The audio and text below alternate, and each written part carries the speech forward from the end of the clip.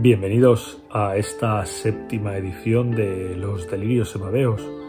Hoy con los premios Sierra Mecánica o Chainsaw Awards de Fangoria de este año. Empezamos.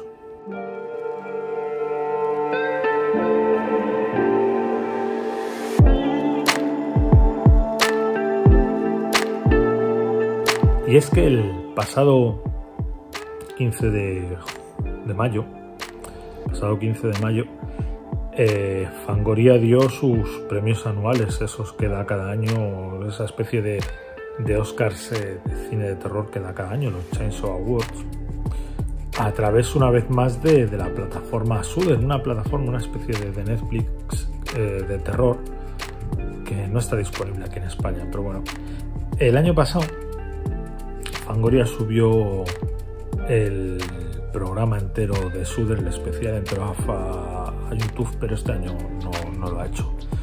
Igualmente, ya que hicimos un, un Delirios y Babeos eh, dedicado a las nominaciones en las que votamos en directo, que lo dejaré supongo que por aquí arriba.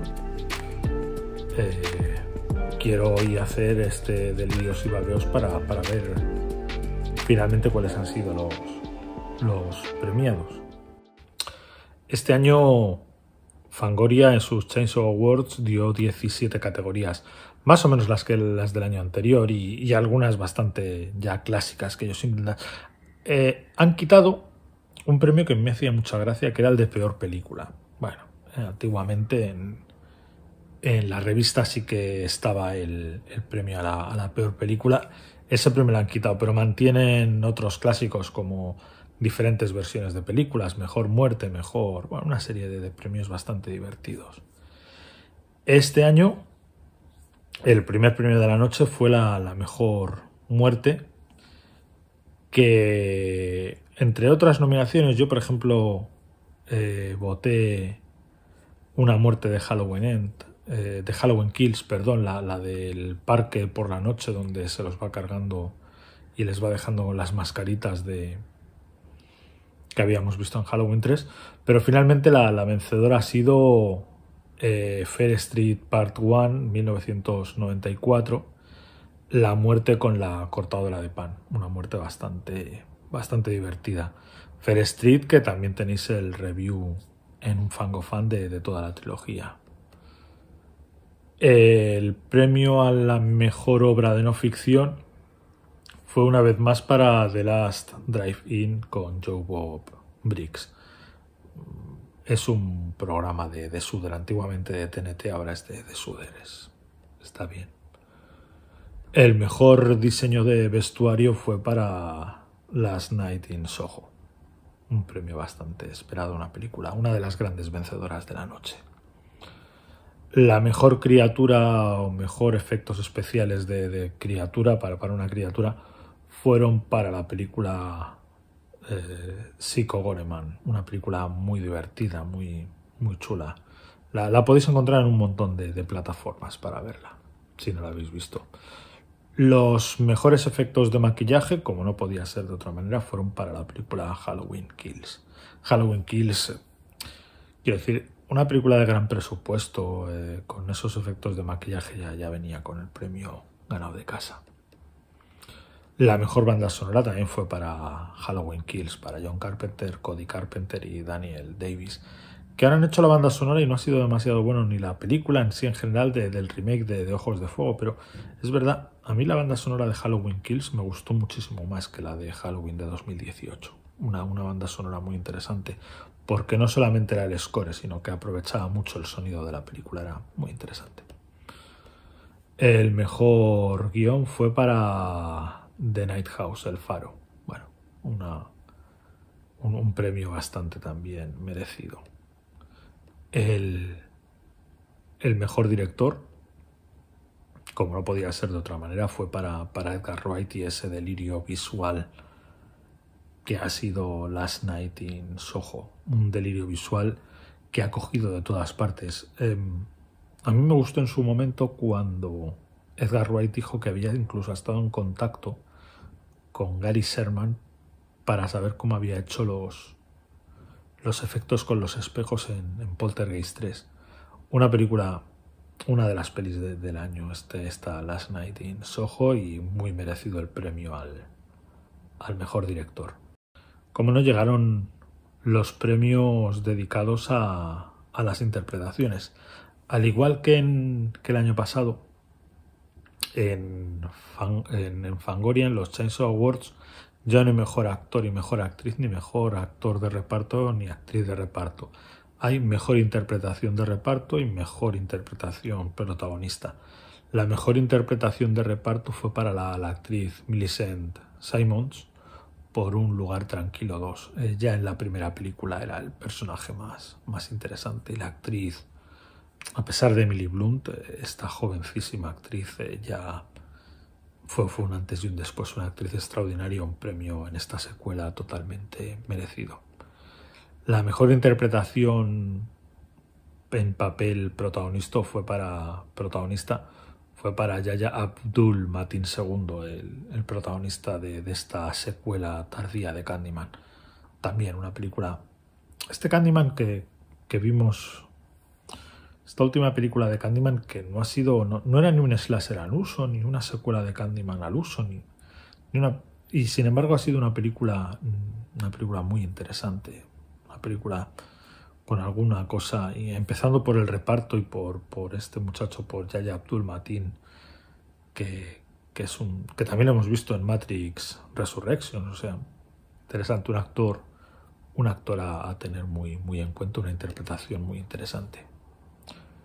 Luego ya llegaron finalmente todos los premios a las diferentes categorías de, mejor película.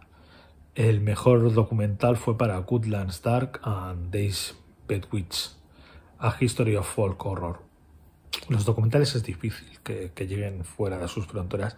Lógicamente este no lo he visto, pero seguro que es, es muy interesante. Sí leí cuando, cuando hice las nominaciones estuve leyendo cuál era cada documental y juraría que el que más me llamó la atención igualmente fue, fue este. La mejor serie Midnight Mass, tampoco la he visto, pero bueno, sabéis, el, el tiempo muchas veces no, no me deja para ver para ver todas las series que, quisiera.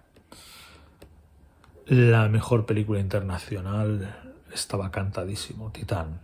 Titane. Eh, si no la habéis visto, está en Filming, está en Prime, que jurarías es muy fácil de ver.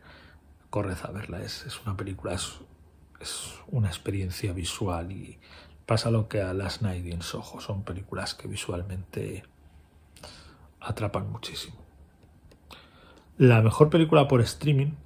Fangoria en su momento solamente dividía las películas en dos categorías, película de gran estreno y película directa a vídeo, que luego lo cambió por película de gran presupuesto, película de, presupuesto más pequeño.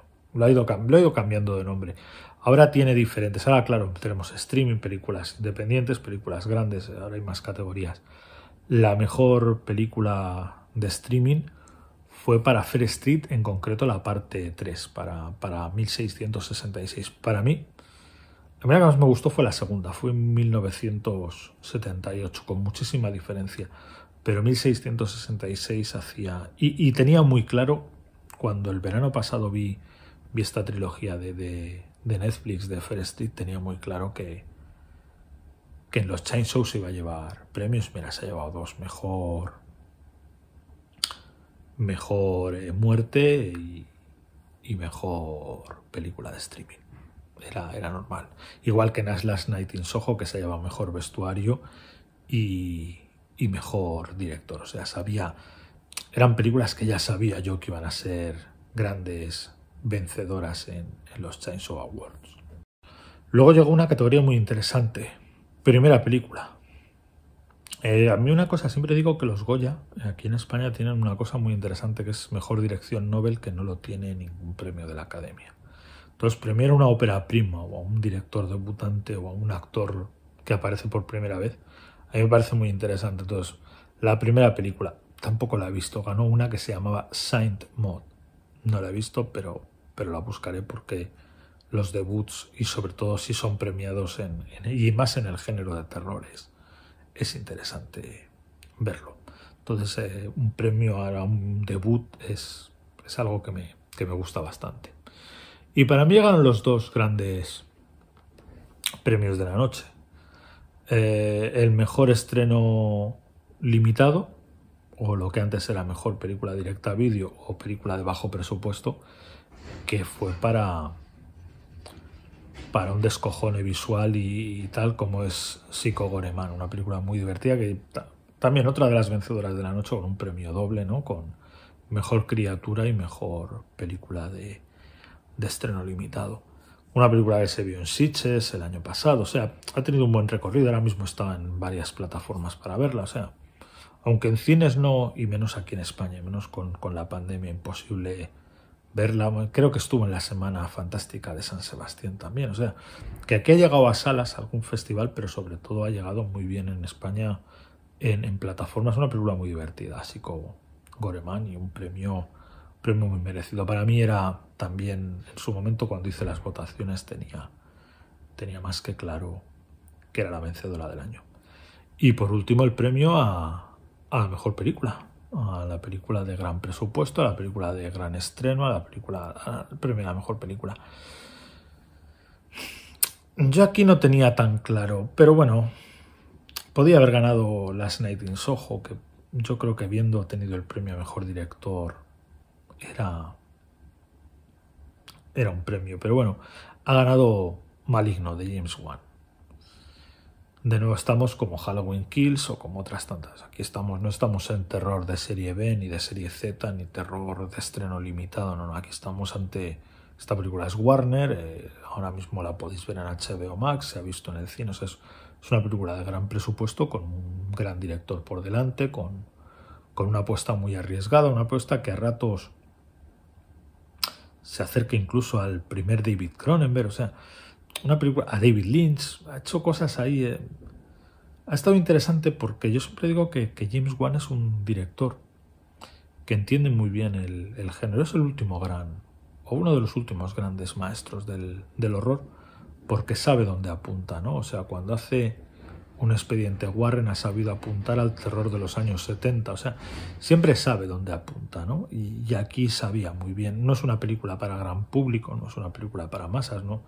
No es como un show, no es como estas otras películas que hace James Wan, que intentan, y de hecho que llevan a millones de personas a las salas. Maligno no, no pertenece a esa categoría, pero aún así un tipo que conoce muy bien el, el género, una película muy interesante y visualmente también como todas las que este año han premiado en los Censo Awards, curiosamente, películas visualmente muy, muy interesantes, películas con, un estilo visual muy marcado, muy...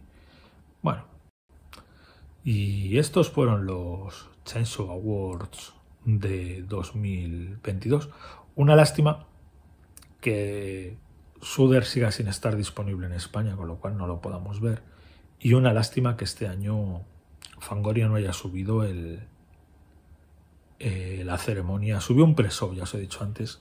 Entonces es una pena que no haya subido el, programa al día siguiente o a la semana de, para que lo hayamos visto todos, pero bueno, al menos os he podido contar en este Delirios y Babeos lo que fue la, la gala, lo que se vio, lo que dejó de verse, que a mí me parecía muy interesante y más cuando habíamos hecho un Delirios y Babeos eh, hablando de los nominados.